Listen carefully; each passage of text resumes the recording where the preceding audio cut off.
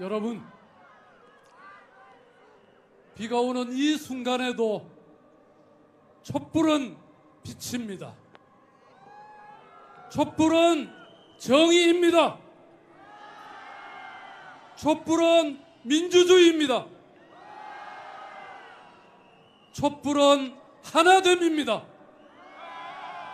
촛불은 성리입니다. 반드시 촛불이 이깁니다. 98년 전 오늘 이 땅에는 수만 수십만 개의 촛불이 켜졌습니다. 바로 3.1절 3.1 운동이었습니다. 바로 그 힘으로 1919년 임시정부가 수립이 됐고 그리고 마침내 1945년 대한민국이 해방되었습니다. 오늘 이 자리에 모이신 여러분들은 새로운 진정한 독립과 새로운 대한민국을 만들겠다는 그 뜻으로 모이셨습니다. 여러분 한 분한 분이 유관순 열사입니다. 돌이켜보면 지난 겨우 내내 매주 빠짐없이 100마리 넘는 인파들이 모였습니다.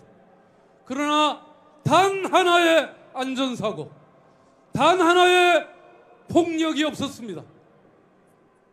불의한 권력, 부패한 정치에 분노하고 절망해서 여기 이 광장에서 서로가 서로를 격려하고 응원하고 그리고 민주주의에 대한 열망을 키웠습니다.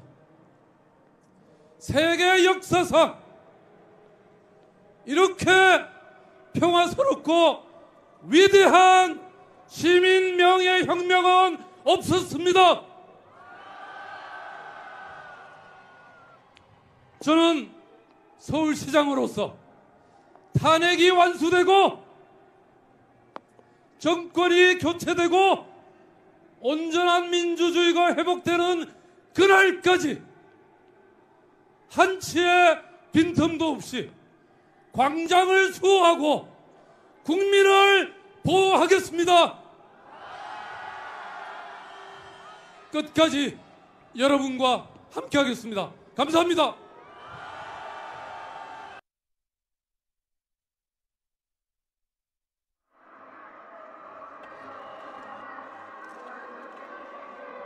예, 다시 한번 힘찬 연대의 박수 부탁드리겠습니다.